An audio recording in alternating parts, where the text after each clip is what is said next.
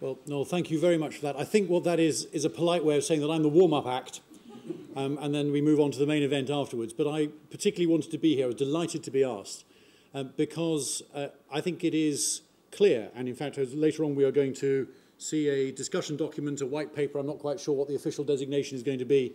It is clear that sustainable tourism is something which is not only important and morally right, it's also something which is um, commercially sensible as well. And I particularly wanted to be here to therefore applaud both the work of the, your organisation, the Travel Foundation as a whole, but also to applaud this particular uh, initiative which you're undertaking this year too. Uh, there's a huge track record which you're building up of successful projects all around the world, not just here in the UK, showing what can be done. And one of the things about I have observed in two years as the tourism minister, I understand incidentally that I'm one of the longest serving tourism ministers there is, which just shows that if you start off with a low, go, low bar, you can exceed it easily.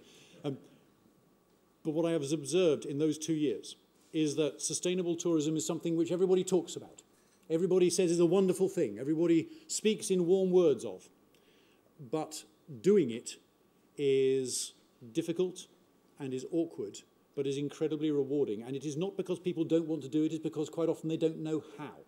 And therefore, equipping people with the tools, the intellectual understanding, and uh, pointing at the different uh, technologies and so forth out there that can be harnessed in order to achieve this aim is a very important, a very practical step to move from wishing to doing.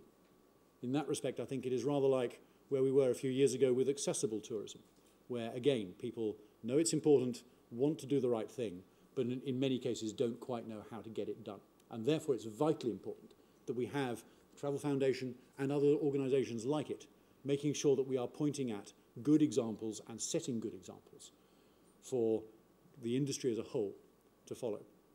And it's not just as well that we need to appeal to people's better nature, although that is effective and it works and it's worth doing because this stuff is important and it is morally right to do.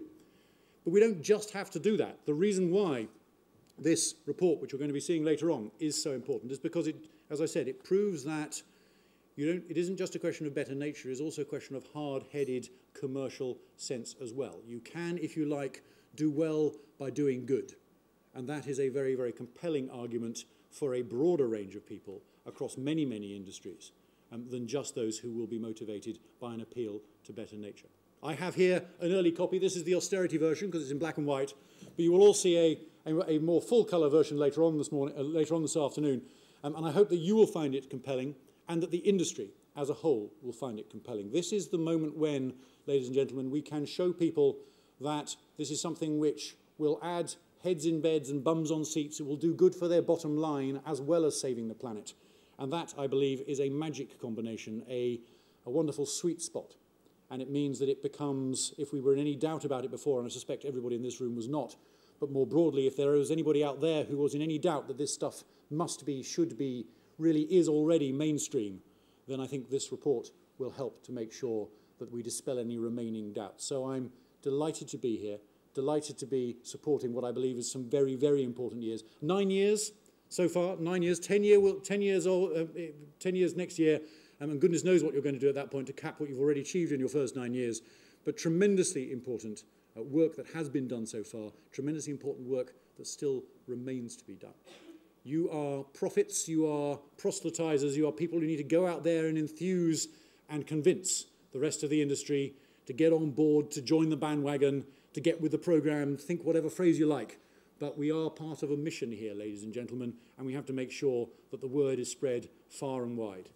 Don't use the austerity copy, use the full colour version. It's hugely compelling. Make sure everybody knows about it, and in due course, with any luck, by the time we get to 10 years, the word will have been spread still further. Thank you very much. I look forward to your AGM.